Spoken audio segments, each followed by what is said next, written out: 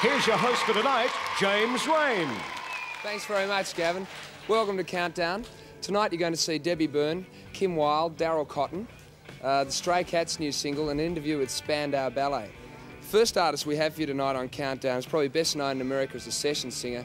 She's recently had uh, split success with people like Randy Meisner and Kenny Rogers.